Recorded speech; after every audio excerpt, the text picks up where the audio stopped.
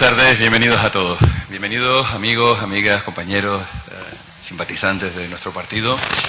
Bienvenido Valeriano, bienvenida Francisca, Paquita, para los amigos, que es como le gusta ya que la llamen, nuestra consejera eh, de empleo del Gobierno de Canarias. Bienvenidos a tantos compañeros que me encantaría poder saludar desde el, en fin, no voy a poder hacerlo con todos y discúlpenme, desde el secretario Procede, uno nombre el secretario general insular, compañeros del partido del insular, Margarita, una amiga que ya conocemos todos, estuvo aquí en su momento, eh, en, en, aquel momento, en el primero de mayo, en el que hicimos un acto, también en este mismo auditorio, en el que también estuvimos hablando del asunto que más nos preocupa y que nos debe ocupar a todos, que es del empleo. Margarita Ramos estuvo con nosotros, la ex consejera de empleo del Gobierno de Canarias. Bienvenidos, como digo, a todos. Eh, un placer tener la oportunidad de continuar, que no empezar, de continuar con una serie de, encuentros, de charlas, de, de diálogos y de reflexión sobre los asuntos que nos preocupan. En una época complicada en la que el partido, un partido como el nuestro, tiene la obligación de dar respuestas, de dar la cara, de reconocer aciertos y de reconocer errores, pero sobre todo de dar propuestas a la sociedad cuando solo parece que hay una única opción, que es la que a menudo nos están constantemente machacando a través de los medios de comunicación de un gobierno que tiene muchos medios de comunicación a su servicio y en el que tenemos pocos resquicios para que, a pesar de tener propuestas y de tener ideas, se hagan un hueco en la sociedad. Y ese espacio, ese lugar de encuentro y de transmitir ideas y de recoger también opiniones de otros, es precisamente lo que nos incita, nos motiva a hacer encuentros como el de hoy y que además sean unos encuentros eh, que estén cargados de, conocimiento, de cualificación de la realidad social, de la realidad económica, del problema del empleo. Y para eso nada mejor que las dos personas que he presentado que me acompañan hoy en esta mesa. No me voy a alargar más porque eh, a continuación va a intervenir Paquita, que va, eh, a decirlo en términos muy elegantes, va a glosar la figura de Valeriano. Venía preparada con, con, eh, con, un currículum importante, así que yo me voy a abstener de, de repetirla.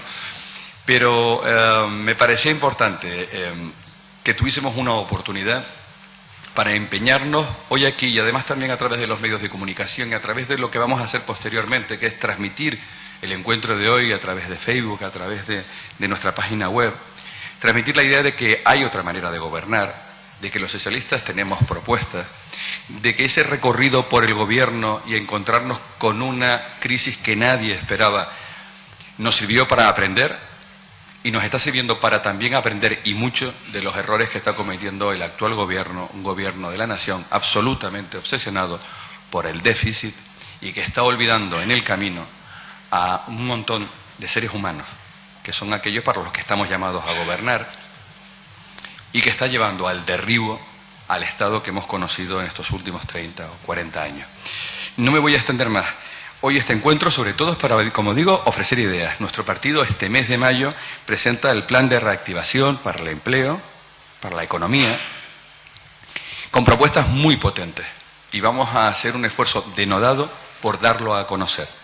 Tenemos una responsabilidad, pero además tenemos ideas y esas queremos hacerlas llegar a todas partes. Este es un pequeño acto que intenta eh, conseguirlo y a partir de aquí estamos empeñados todos en nuestra agrupación, en nuestra dirección insular, en trasladar ese contenido, esas propuestas, esa capacidad de todavía mirar porque hay luz al final del túnel. Y esas propuestas, sin lugar a dudas, hoy la única alternativa lo suficientemente montada y estructurada para poderla llevar a cabo es nuestro partido. Nada más. Uh, yo si me pillo un micro, me entusiasmo y luego no paro. Así que um, gracias de verdad por dedicar este ratito esta tarde, eh, dejar las ocupaciones y probablemente también si hay algún tiempo libre a la familia para encontrarnos en este auditorio. Muchísimas gracias por venir. Paquita, bienvenida y encantado de tenerte con nosotros.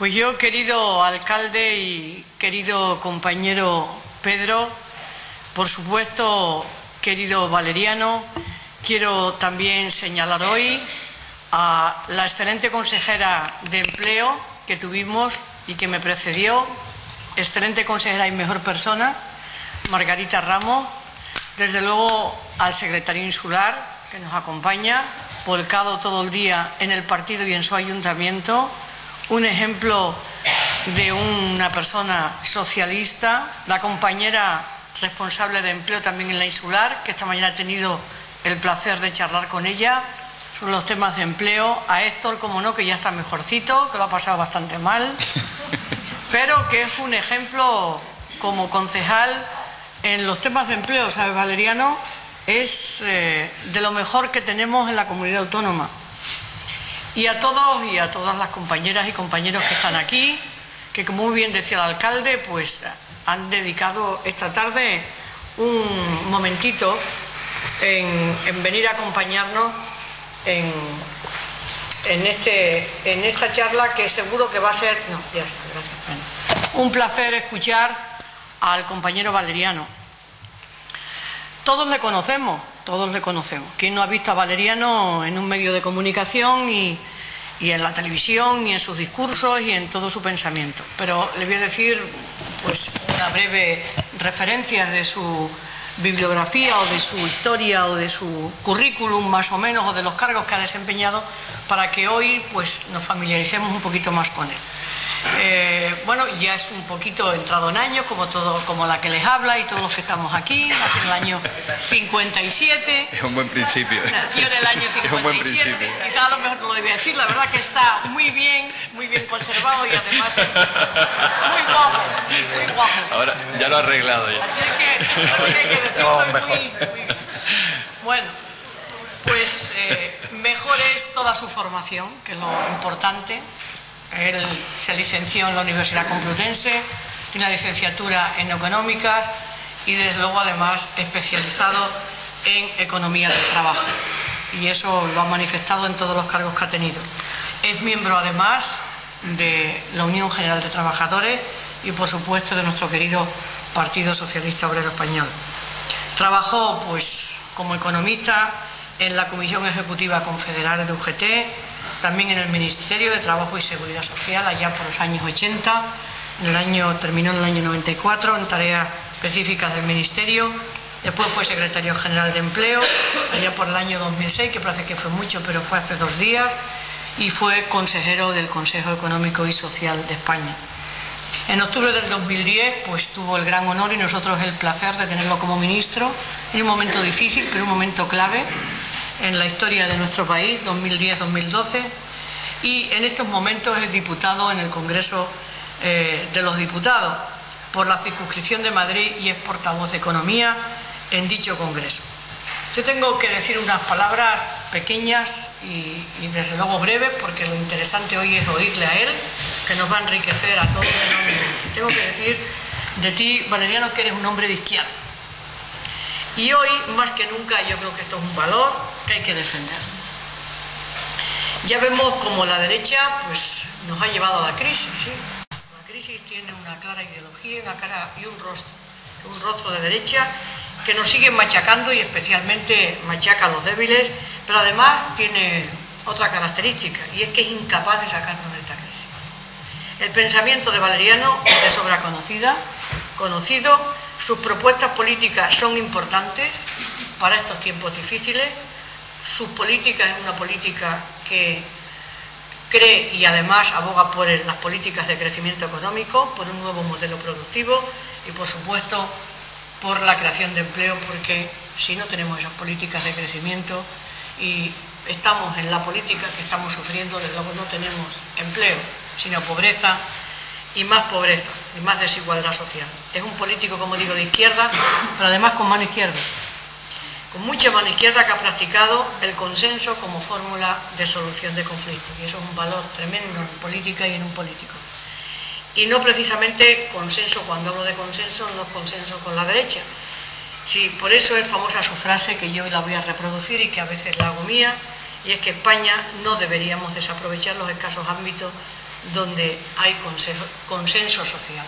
Y quizás España en estos momentos necesitamos de mucho consenso social y es un valedor de ese consenso social que si desde luego lo conseguimos y lo practicamos y lo vamos avanzando en nuestra historia, que es de lo que se trata, avanzar en la historia, esa eh, política de los gobiernos que podemos decir que avanzar en la historia, muchos de los que estamos aquí somos pues de la época de la transición política. Yo cuando estaba en la universidad, que también estudié en la Complutense, y luchábamos por las libertades y por la democracia, era también por el avance en la historia. Sin embargo, en este momento estamos viviendo momentos de retroceso en la historia. Y esa es la gran paradoja. Por tanto, yo con estas palabras creo que son suficientes para que conozcamos y hayamos conocido un poquito más a Valeriano, al cual le cedo la palabra porque hoy lo interesante es escuchar a Valeriano y no la considerar Muchas gracias.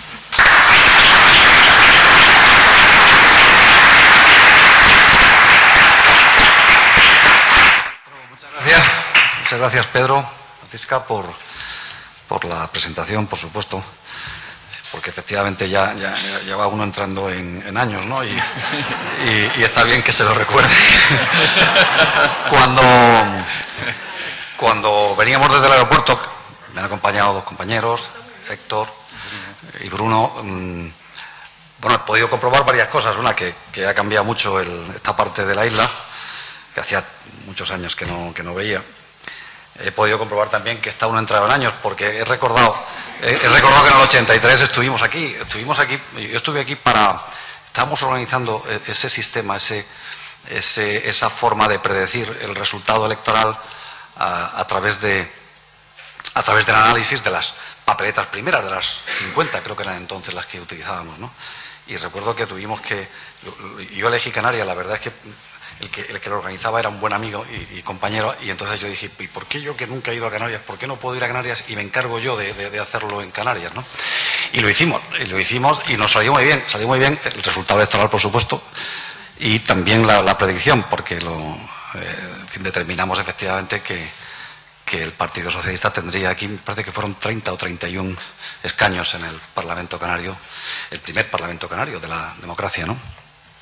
Así es que eh, ha crecido mucho la, eh, la, isla, esta parte de la isla, que yo conocí entonces, después he vuelto alguna vez, pero no había vuelto a esta parte de la isla.